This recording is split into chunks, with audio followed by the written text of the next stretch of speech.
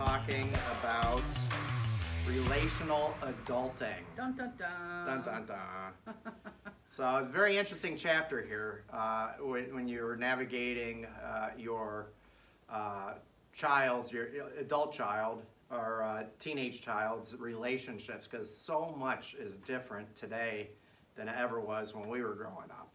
Uh, whether it's uh, you know being able to uh, look for relationships online or if it's uh, you know I mean there's just so many different things going on. From But- friends to boyfriends. Yeah, exactly, Boyfriends. Yeah. exactly. So, so you, one thing that stood out to me uh, was the relational stressors, uh, where they talk about teenage stress often stems from the accumulation of busy schedules, school pressure, family climate, and peer expectations surrounding friendships, conflict, dating, and social norms.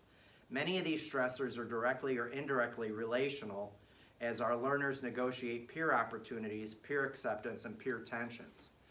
So there's a lot going on uh, thanks to things like social media where friendships are different. Uh, they, they can hold on to them longer. Uh, or they, I mean, uh, social media can cause, can be a good thing and it can be a bad thing. Uh, so it's important as parents to, uh, to be, be understanding of that and be aware of that. And, uh, and probably as, as your child is young, to have some boundaries around uh, phone use and social media, but as they get older, having those conversations and making sure that they're they're doing okay and that their friendships are being healthy and life giving, and uh, and not uh, not draining to them. Right, and you're always gonna be concerned, no matter what, who their friends are, and, um, you know, living in a smaller town helps you Mm-hmm. kinda know who their families are, the kids are, but as your kids get older and play sports and music and stuff, they kind of get out there, so they're going out the door saying, see you later. Yeah. And, uh, you're at the door asking, where are you going, who you going with? Yeah. When will you be home? Yeah, Um, yeah, it's hard not to over, overparent, um, at that moment, but, um, you know, they have so many, they have to navigate so many friendships at this point that we didn't really have, um, Mm. growing up. You had, you know, kids on your street and kids in your class. right. Our kids, your kids, um, now have, you know, a whole, um, They can know, make friends from gaming online. Exactly. in other countries even they can make friends uh, through uh, social media and stuff like that uh, th- there's a lot of connection points that they have that we just didn't have Wanna talk about dating? yeah let's talk about dating because anne did this perfectly with all her kids so we'll Oh hear all her gosh. stories No, Yes! I'm, I'm kidding Oh. i'm kidding Yeah. now this is a, a tricky minefield to navigate as a parent uh, and, and I can testify to that. Uh, but I think the important thing is to uh, keep keep the conversations open and and don't be afraid to have those talks with your children about sex, sex and sexuality, about marriage and and living together and and just you know letting them know where you're at with some of that and how you feel, but also being sensitive and understanding that that this is a new age and this is a new generation. And relationships for them have uh, I mean have definitely changed in some ways that I think if you're coming from a more traditional background it's it's hard to navigate sometimes but uh, we need to we need to be understanding. So it says here uh, let's resist putting so much energy into the wedding ceremony that we lose sight of what's more important our hope that our kids are walking into marriage as healthy people a healthy couple and in many cultures a healthy joining of two families. So understanding that i, I know that uh, you know as i've been able to do some weddings and stuff like that i've all, always tried to help them understand that the wedding is one day uh, and there's so much energy and so much money and so much time put into that one day. But a marriage is a lifetime. A relationship can be a lifetime. And so uh, always help your children understand that and know that and look for uh, the kind of relationships that, once again, that are life giving and that can be uh, supportive of who they are as a person and as an individual.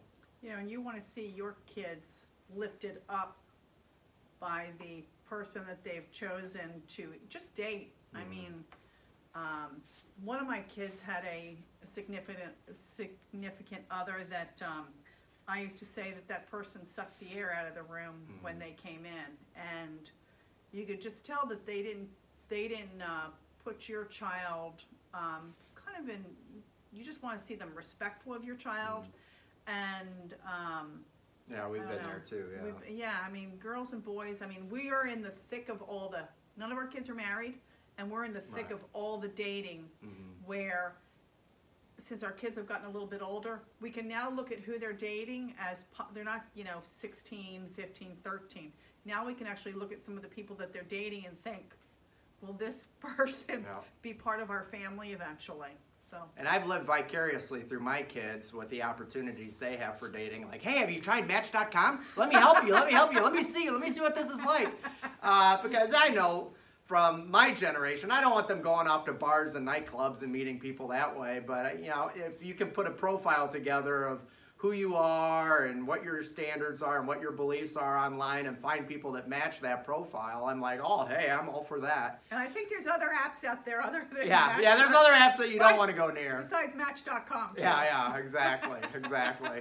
So, so I know that I've been uh, kind of uh, probably a little bit too excited about opportunities for my kids to meet other people, but Right. uh, but I, you don't want to push it. You don't want to rush it, and uh, and I think kids take longer. Uh, this this generation takes longer to get involved in more committed relationships. In fact, I know watching the youth group.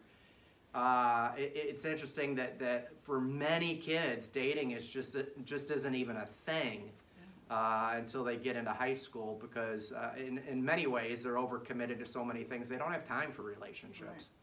Now, my son dated through high school, but my girls did not. Right, right. And one didn't even date through college. One did. Um, but yeah, I mean, and your kids are, they're all different. They're going to be all over the map. If, you, if you've got one child, they're going to be different than your neighbor's child. If you've got three kids, they'll be all over the map too. I'm sure all your three, your four Right. kids um, have dated Yeah, oh different kind of people. Yeah. Um, but yeah, but you also have to trust that they're now, um, they're, you're now going to see all the things that you've instilled in them Mhm. From, they need to respect themselves, regardless of what the relationship looks like.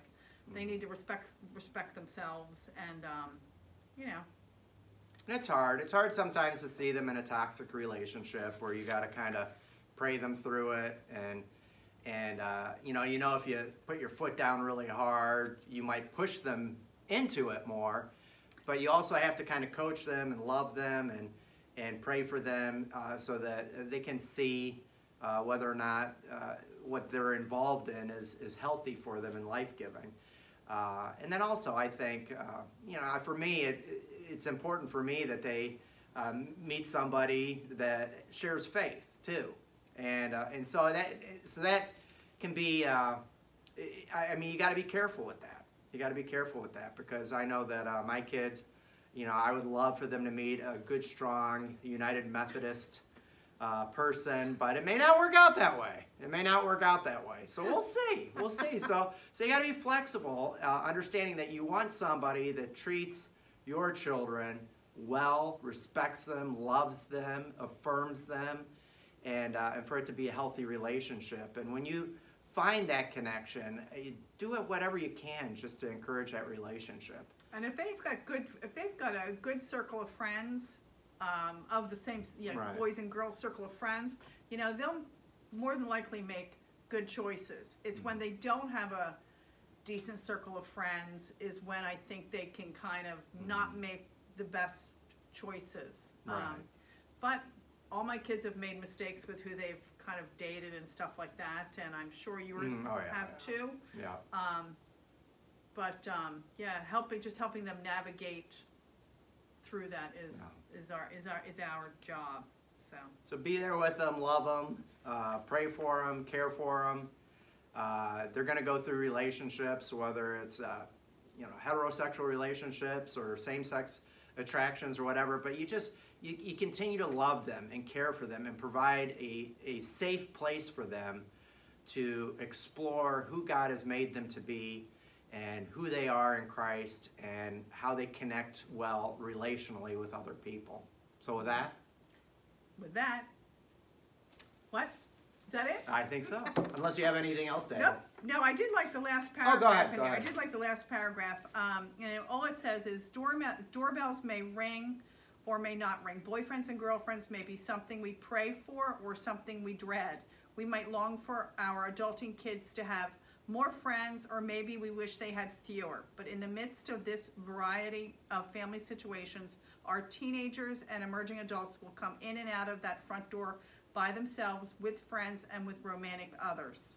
Every time that that doorbell swings open, we have the opportunity to either welcome them home or to bless them as they venture out. I thought that was great. Oh, yeah, yeah, yeah. Every time they come in and every time they go out, we have the opportunity to work on that relationship and, um, or just absolutely, absolutely. So continue to love your kids and care for them and hope for the best. Happy dating. And happy dating. Happy yeah, really. Yeah, yeah, yeah, exactly. So we'll see you next week. Take care.